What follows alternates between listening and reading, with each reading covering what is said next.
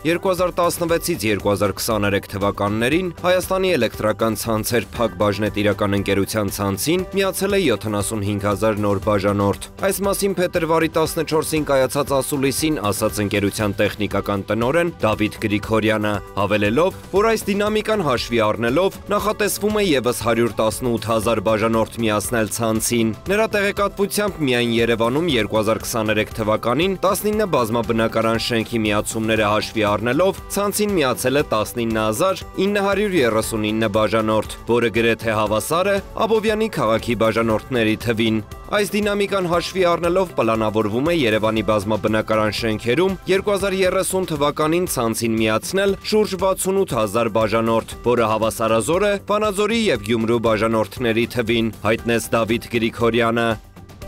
Փորձագիտական դաշտում կարծում են, որ Հայաստանում ձևավորվել է կենսաթոշակային ֆոնդերի բավականին ամուր եւ հասանելի համակարգ։ Բացատրություն կա, վերջին 3 տարիները Հայաստանի համար աշխարհակահաղական առումով բարդ էին, բայց դրան զուգահեռ կൂട്ടակային եկամտաբերությունը ներդրման պահից ի վեր 10 տարիների ընթացքում կազմել է 106%, կൂട്ടակային գնաճը կազմել է 29-ից 30%։ Ավելի པարզ, մարդկանց կենսաթոշակային հաշիվների եկամտաբերությունը գնաճով ճշգրտված աճել է շուրջ 7 75%-ով, վերլուծում է Օրբելի հետազոտական կենտրոնի փորձագետ Մերի Բոյաջյանը։ Նրա խոսքով ընդհանուր ակտիվների դինամիկան 2023 թվականի դեկտեմբերի 31-ի դրությամբ կազմել են 799.2 միլիարդ դրամ։ Ցուցանիշը 2022-ի համեմատ աճել է 42.6%-ով։ Ֆոնդերի եկամտաբերությունը ստեղծման պահից տատանվել է 12.4%-ից 15.3%։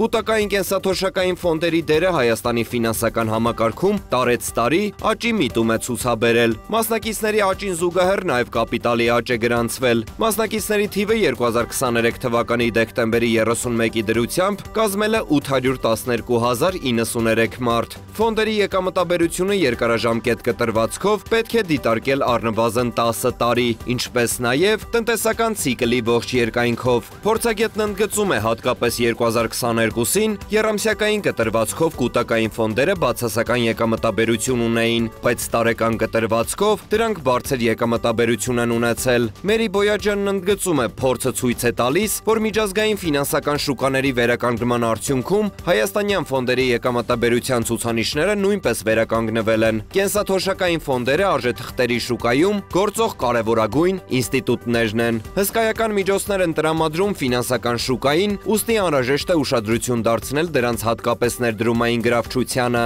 նաև ռիսկերի արդյունավետ կառավարմանը։ 2024 թվականի հունվար ամսվա ընթացքում արձանագրվել է հսկիչ դրամարկղային մեքենաների կիրառման կանոնների խախտման 729 դեպք, արձանագրվել է 189.5 միլիոն դրամի չափով տուգանք։ Պետական եկամուտների կոմիտեն տեղեկացնում է, որ խախտումներից 5 դեպքով 5 հարկ վճարողի մոտ արձանագրվել է 1 միլիոն դրամ եւ ավելի տուգանք, ընդհանուր 7 միլիոն դրամի չափով։ Հսկիչ դրամարկղային մեքենաների կիրառման կանոնների խախտման դեպքերով 1 միլիոն դրամ եւ ավելի տուգանք արձանագրվել է հետևյալ ոլորտներում։ Հանրային սննդի ոլորտում երկու հարկ վճարողի մոտ երկու դեպքով արձանագրվել է շուրջ 2.43 միլիոն դրամ տուգանք։ Մթերային խանութում երկու հարկ վճարողի մոտ երկու դեպքով արձանագրվել է շուրջ 3.5 միլիոն դրամ տուգանք։ Հրուշակեղենի արտադրության ոլորտում մեկ հարկ վճարողի մոտ մեկ դեպքով արձանագրվել է 1.7 միլիոն դրամ տուգանք։